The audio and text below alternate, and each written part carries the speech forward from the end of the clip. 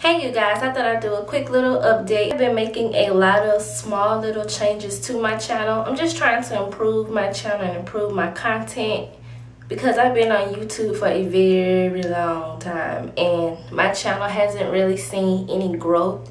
So I've been trying to kind of analyze my channel and look at areas that I can improve.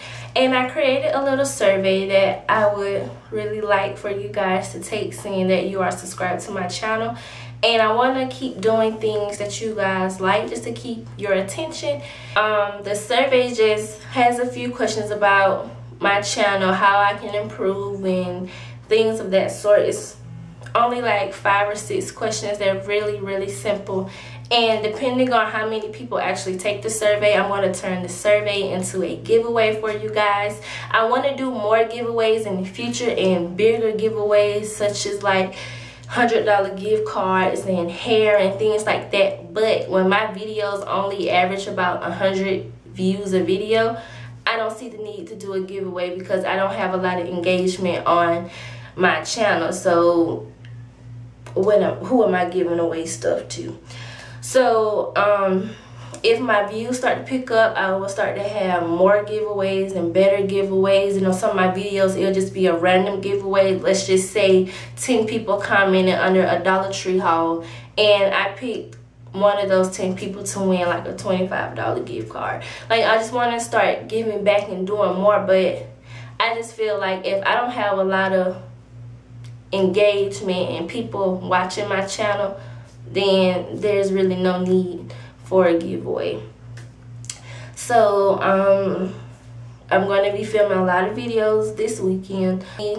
Different type of suggestions for videos, you can leave that down below. And also, I want to, I'm thinking about making a Facebook like page for my channel.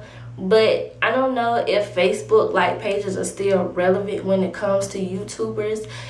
Would that be a good way to get my channel out? Um i'm just really really not sure. So if you guys think i should make a facebook like page then let me know down below. And um that's pretty much it.